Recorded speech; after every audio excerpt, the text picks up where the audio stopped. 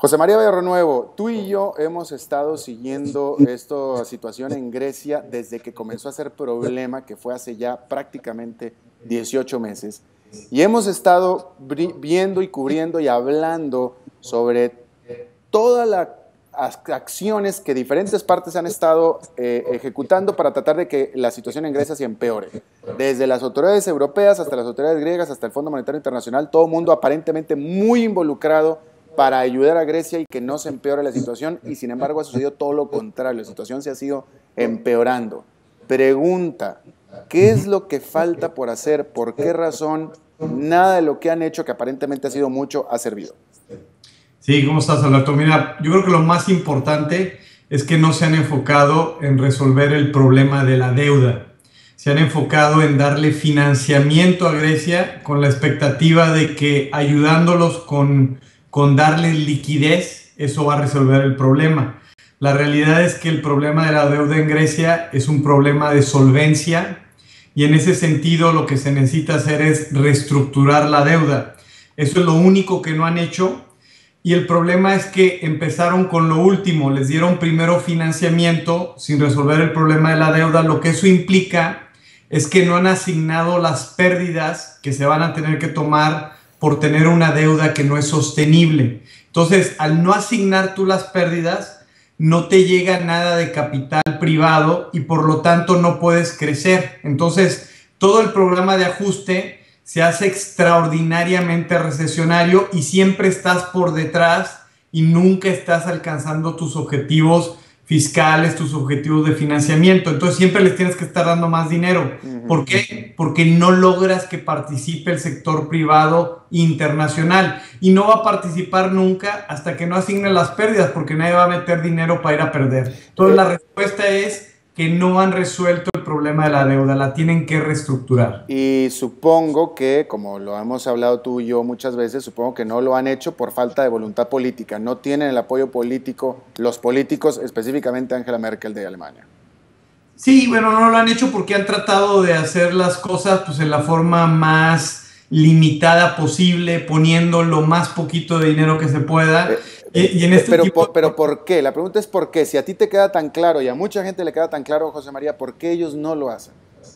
Porque políticamente, como tú dices, es muy difícil eh, ir y, y, básicamente tener la autorización de las sociedades de Europa para darle dinero a Grecia, ¿no? Entonces, por ejemplo, Alemania, que es el país que tiene dinero, tiene una sociedad que se opone a que le sigan dando dinero en parte porque ya le dieron tanto y no funciona, que ya no quieren que sigan tirando el dinero. Por eso es que fue un gran error darle el financiamiento antes de reestructurar. Pero el problema de fondo es que estamos hablando de países que tienen culturas muy diferentes y que obviamente no tienen una unión de tipo eh, cultural, mucho menos por supuesto política y por lo tanto fiscal. Entonces, no hay una manera de obtener una autorización más que yendo a la población y la población cada día quiere dar menos. ¿Por qué? Porque las culturas son muy diferentes en principios, en valores y algunos de ellos inclusive lo que eh, inclusive una rivalidad entre algunas de ellas. Entonces no hay el elemento más importante que tienes, por ejemplo, en los Estados Unidos o en México, que tienes un grupo de gente con la misma cultura y por lo tanto se ponen de acuerdo para ayudarse unos a otros. Aquí eso no sucede, entonces se convierte en un problema político, como tú lo señalabas. Ok, pero eso, eso, eso contestaría o eso contesta la razón por la cual los eh, gobiernos fuera de Grecia no han querido hacer lo que hay que hacer en este sentido. Pero la pregunta es, ¿por qué Grecia simplemente no hace lo que hizo Argentina? Porque, y me refiero a Argentina porque fue el, el ejemplo más reciente y cercano, de decir, señores, reestructuro, por no decir que default, y se acabó. En, cierta manera puedes argumentar que lo está haciendo, porque si te acuerdas, Argentina en su momento, eh, cuando estaba el ministro Cavallo, antes de la, gran devaluación y de lo peor de la crisis, el Fondo Monetario de Estados Unidos les dieron financiamiento a Argentina y por un tiempo estuvieron prácticamente jugando también ese juego. El punto más importante es si la deuda que tienes puede ser soportada o apoyada por tu nivel de actividad económica.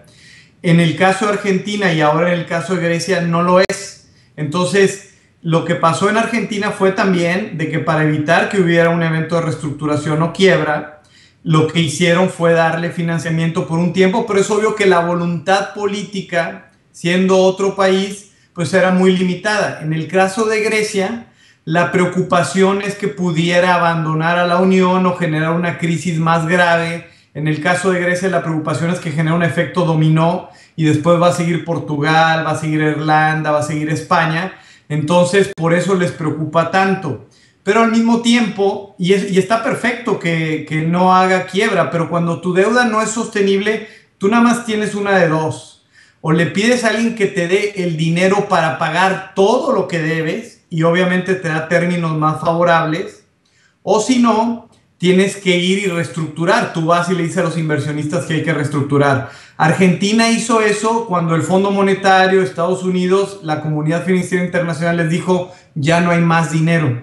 Ahí fue donde obviamente fue lo peor de la crisis. Y a Grecia pues le va a pasar exactamente lo mismo, nada más que en el caso de Grecia, como hay este objetivo político de mantener eh, a la Unión o de tratar de dar un apoyo, pues obviamente la voluntad de dar financiamiento es mayor y por más tiempo, que es lo que hemos visto, pero al final sin arreglar nada. Entonces cada día la voluntad de dar financiamiento es, menor y va a haber un momento en que ya no le van a dar nada y ahí es cuando Grecia va a tener que reestructurar. ¿Por qué? Porque no hay forma de empezar uno, un nuevo ciclo de inversión si tú no asignas las pérdidas actuales. La gente sabe que no lo puede pagar. Al decir tú reestructurar, ¿estamos hablando de default?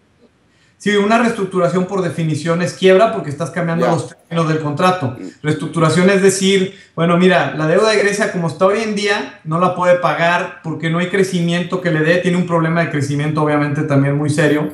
Entonces, básicamente lo que dices es, con una quita de tanto por ciento, eh, mi estimación es que van a necesitar una quita de alrededor del 75%, 70%, con, con ese tipo de quita, entonces Grecia eh, puede empezar a, servir su deuda y tiene la oportunidad de poder empezar a traer algo de capital. El problema surge es que te tardaste tanto y esa deuda la tiene la banca europea que es obvio que esos bancos van a tener que tomar pérdidas y lo que quiere decir es que vas a tener que recapitalizar al sistema bancario europeo. En realidad, el problema de fondo no es realmente nada más una crisis soberana, es una crisis bancaria y es una crisis de toda Europa. Bueno, José María, definitivamente una reestructuración bancaria fuerte, una reestructuración soberana también. Eh, obviamente estamos hablando también de que habrá una recesión severa en Europa, ¿cierto? Así es. Eh, ¿se va, ¿Esto se va a derivar en una recesión para el resto del planeta también? Es, es, probable que, sin duda alguna, se va a derivar en una desaceleración, porque obviamente las presiones crediticias se van a esparcir por el mundo. Estamos hablando, por ejemplo, para que tengas una idea, de que hay bancos en Estados Unidos como Citigroup que tiene una exposición importante a Europa, que también va a tener nuevamente presiones, obviamente las ha tenido en los últimos años Estás hablando también que eso genera a su vez presiones en el resto del sistema bancario americano y al mismo tiempo eh, tienes presiones que vienen por todas partes. Por ejemplo, los bancos españoles al batallar en fondearse en dólares van a buscar vender instrumentos en dólares para conseguir dólares, todos los que pueda donde tengan sus mayores operaciones. Hoy en día, por ejemplo, un banco como BBVA, su mayor operación está en México entonces van a vender activos en pesos para comprar dólares y traérselos a España, con lo cual vas a generar un proceso también de presiones cambiarias fuerte en los distintos eh, países internacionales. De manera muy rápida, para Latinoamérica, eh, eh, ¿qué, tan diferente va a ser esta, esta época que tú estás hablando a lo que fue la recesión del 2008? Pues realmente va a depender mucho cómo la manejen y ese hoy en día es el más grande riesgo porque si sigue un proceso donde no hay el más mínimo liderazgo ni la menor voluntad política de ordenar estas reestructuraciones, pues es obvio que el mercado te las va a seguir imponiendo y va a ser un proceso muy desordenado con mucho mayor presión de crédito y hay una posibilidad que tengas un evento tipo Lehman y en ese sentido que pueda ser tan severa como en el 2008. Inclusive yo te podría decir que pudiera ser aún más severa simplemente por la reacción. En Estados Unidos ayudó muchísimo que la Reserva Federal en el peor momento de la crisis actuó y dio liquidez muy rápidamente a todo mundo. En el caso de Europa, aún y si el Banco Central Europeo hace eso, el problema es que el problema de la banca europea no, es su fondeo en, en, euros, porque el Banco Central Europeo ha estado monetizando y eventualmente estaría dispuesto a inflar, generar mucha inflación para financiar al sistema financiero. El problema no es ese, el problema es que van a necesitar dólares, porque esa es la moneda del mundo. Y obviamente el Banco Central Europeo no tiene esa misma capacidad de accesarlos. Es obvio que la Reserva Federal le va a ayudar, pero ya la reacción no es tan inmediata y en ese sentido el riesgo para mí es que sí pudiera ser peor. José María Barrenuevo, economista, asesor financiero, muchísimas gracias por tu tiempo, como siempre, y por tu apoyo. Gracias. No, con mucho gusto, gusto estar con, contigo, Alberto, que estés muy bien. Gracias. Gracias, buenas noches.